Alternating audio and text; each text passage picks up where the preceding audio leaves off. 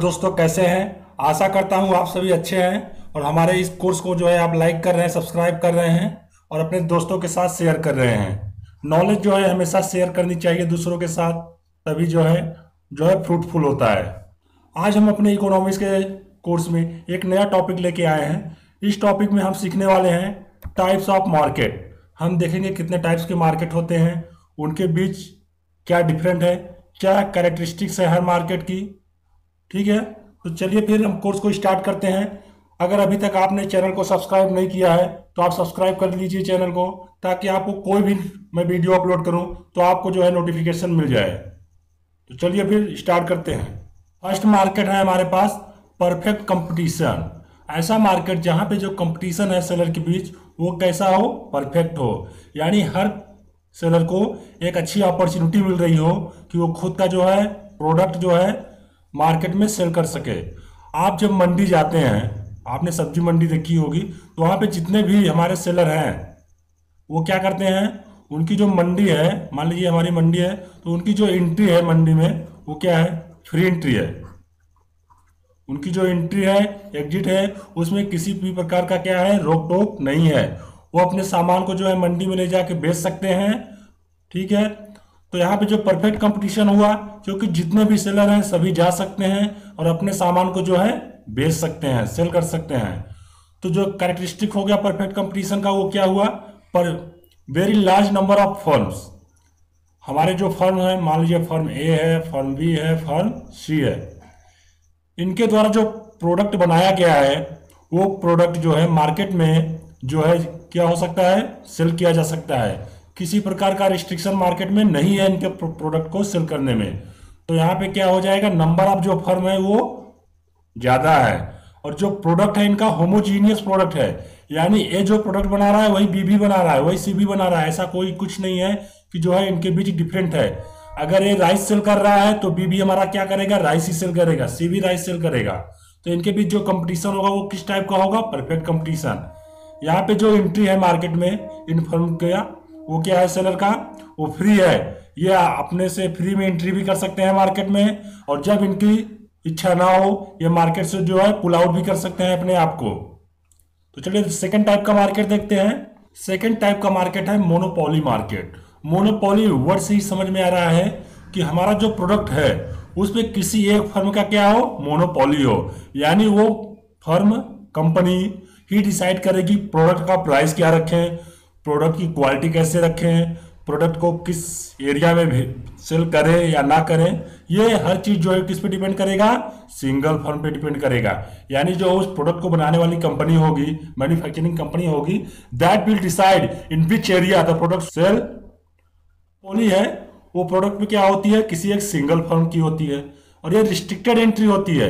ऐसा नहीं कि अगर मान लीजिए कंपनी ए है ए कंपनी है, इसने कोई प्रोडक्ट बनाया पी प्रोडक्ट तो इस प्रोडक्ट को कोई दूसरी कंपनी भी जो है नहीं बना सकती। ऐसा इसलिए क्योंकि जो कंपनी ये है, वो पेटेंट ले लेती है। जब कोई भी पेटेंट कंपनी पेटेंट ले लेती है अब किसी प्रोडक्ट का तो दूसरी company without permission of company A can't manufacture that product ठीक है? तो यहाँ पे जो है रिस्ट्रिक्टेड एंट्री हो जाती है, हो जाती है दूसरी कंपनियों की। तो यहाँ पे जो प्रोडक्ट होता है, वो क्या रहेगा? यूनिक रहेगा। नो सब्सिट्यूट्स अवेलेबल जो प्रोडक्ट भी बनाया है कंपनी ए ने वो कंपनी भी नहीं बना सकती, ना ही उसके सब्सिट्यूट जो है अवेलेबल रहते हैं मार्केट में। जिसके कारण जो कंपनी ए है, वो पूरी तरह से मार्केट में क्या बनाती है? उस प्रोडक्ट का मोनोपोली प्राइस जो है फिक्स किसके द्वारा किया जाएगा? फर्म ए के द्वारा ही किया जाएगा। क्योंकि फर्म ए ही ओनली कंपनी है, जो प्रोडक्ट पी को क्या कर रही है? मैन्युफैक्चर कर रही है। तो यहाँ पे जो कंपटीशन होगा, वो क्या हो जाएगा? इम्परफेक्ट हो जाएगा। क्योंकि जो वहाँ पे नंबर ऑफ़ मैन्युफैक्चरर वो क्या है? केवल ओनली वन है। और परफेक्ट कंपटीशन में क्या होता है? नंबर ऑफ़ सेलर का लिमिटेशन नहीं होता है। कितने भी मैन्युफैक्चरर हो सकते हैं, कितने भी सेलर हो सकते हैं। लेकिन मोनोपोली में क्या होता है? जो नंबर ऑफ़ सेलर है, वो वन है। नंबर ऑफ़ सेलर कितने भी हो सकते हैं। लेकिन जो नंबर ऑफ़ मैन्युफैक्चरर है, वो कितना होगा? एक ही होगा। और जो मैन्युफैक्चरर है, वही डिसाइड करेगा कि मार्केट में जो है प्रोडक्ट की प्राइस क्या रखी जाए। तो ये क्या हो गया हमारा? In perfect competition monopoly market का जो एग्ज़ाम्पल है, हमारा फार्मास्यूटिकल जो है एक एग्ज़ाम्पल है। अगर मान लीजिए कोई भी फार्मास्यूटिकल कंपनी कोई ड्रग बनाती है तो गवर्नमेंट क्या करती है उसको? ट्वेंटी ईयर का पेटेंट देती है। तो उस ट्वेंटी ईयर में only that company can manufacture that drug ठीक है? उस उस ट्वेंटी ईयर्स के दरमियान कोई दूसरी कंपनी जो है, उस प्रोडक्ट को मैन्युफैक्चर उस ड्रग को मैन्युफैक्चर नहीं कर सकती है। तो यहाँ पे क्या हो गया? जो कंपनी ड्रग बनाई थी ड्रग्स बनाई थी, उस कंपनी का मोनोपोली हो गया उस ड्रग्स में। तो दूसरी कंपनी नहीं मैन्युफैक्चर कर सकती।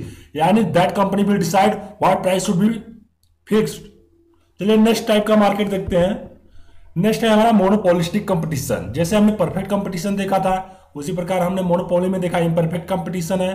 तो उसी प्रकार का एक कंपटीशन होता है मोनोपोलिस्टिक कंपटीशन यहाँ पे क्या होता है नंबर ऑफ़ जो फर्म्स हैं नंबर ऑफ़ फर्म्स हैं, वो कितने हैं? वेरी लार्ज में ऐसा कोई लिमिटेशन नहीं है, जैसा मोनोपोली में था, कि नंबर ऑफ़ मैन्युफैक्चरर क्या होंगे? एक ही होगा। यहाँ पे लिमिटेशन नहीं है। कितने भी फर्म्स हो सकते हैं, जो प्रोडक्ट को हमारे क्या करेंगे? मैन्युफैक्चर करेंगे।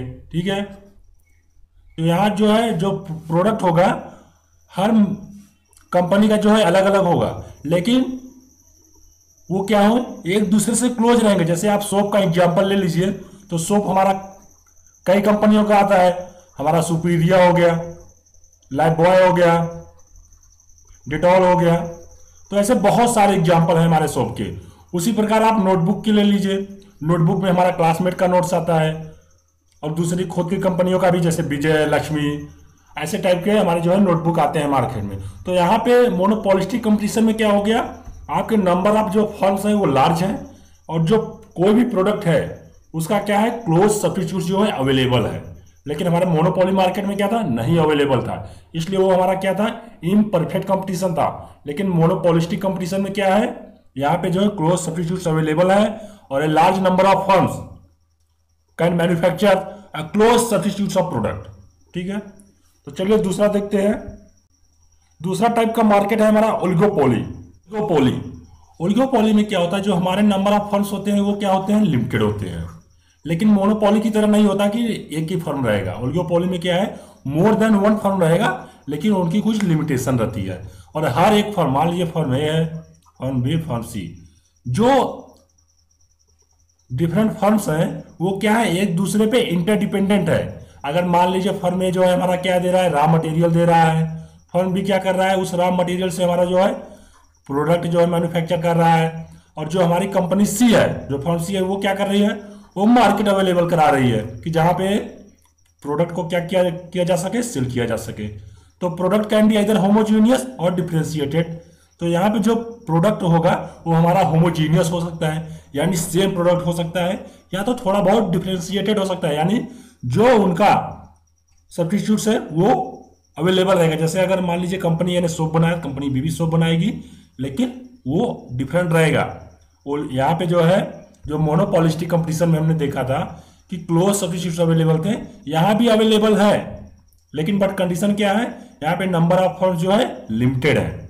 और हर एक फर्म जो है, एक दूसरे पे इंटरडिपेंडेंट है। यानी एक की गाड़ी दूसरे की बिना नहीं चल सकती। पॉली में होता है। एक दूसरे को सहारा देंगे, तभी बिज़नेस क्या करेगा? रन करेगा। और उल्गो पॉली में जो है, अगर बिज़नेस करना है आपको उल्गी पॉली मार्केट में तो यहाँ पे जो एंट्री है, क्या है? वो डिफ़िकल्ट है। एक छोटा सा टॉपिक है कार्टेल कार्टेल आपके एग्ज़ाम में आ सकता है कि कार्टेल क्या होता है? ये आप जो है हर जगह देखते होंगे। कंपनियों में देख सकते हैं, कंपनियों के बीच किया जाता है, पर लोगों के बीच किया जाता है। जो डिफरेंट मैन्युफैक्चरर्स होते हैं या डिफरेंट सेलर होते हैं, वो खुद के बीच एक क्या करते हैं? एक कार्टेल बनाते हैं।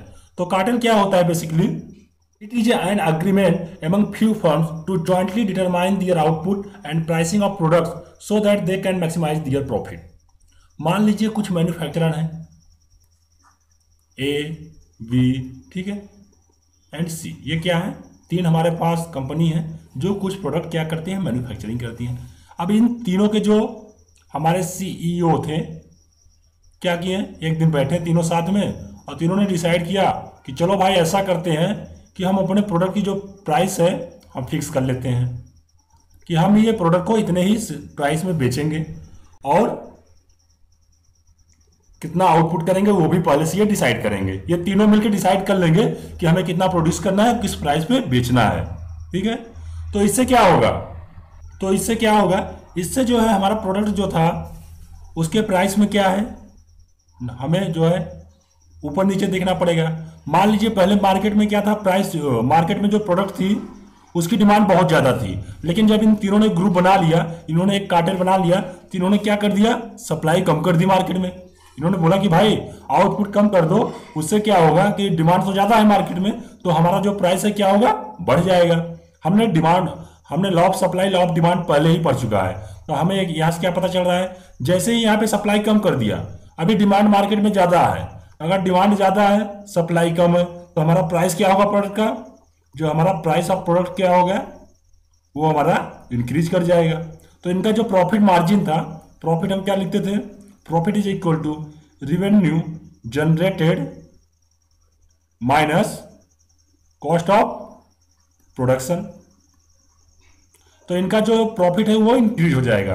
तो मटेरियल जो है हमारा इलीगल है। अगर कंपनियाँ कार्टेल बनाती हैं एक दूसरे से मिलके, अगर इस चीज़ को गवर्नमेंट को पता चल जाता है कि फला फला फला कंपनी ने मिलके एक कार्टेल बनाया है तो गवर्नमेंट उनके खिलाफ जो है एक्शन ले लेगी। ठीक है? तो चलिए आज लेक्चर को यहीं फिनिश करते हैं।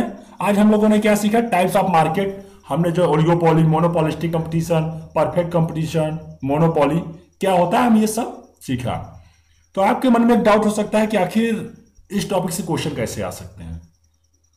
यहाँ से क्वेश्चन ऐसे आ सकते हैं। आपका स्टेटमेंट दे देगा which are the following is characteristics of perfect competition तो वहाँ पे चार ऑप्शन दे देगा। एक ऑप्शन जो है करेक्ट होगा, तीन जो है इनकरेक्ट होंगे। ठीक है? इस टाइप के क्वेश्चन आ सकते हैं। तो आपको जो है, इसको अच्छे से समझना है। अगर आप नहीं समझे तो आप जो दोबारा वीडियो को देखिए। अगर आप लेक्चर को लाइक कर रहे हैं तो जो है, आप चैनल को सब्सक्राइब करिए और प्लीज़ सपोर्ट माय चैनल तो चलिए फिर आज लेक्चर को फिनिश करते हैं।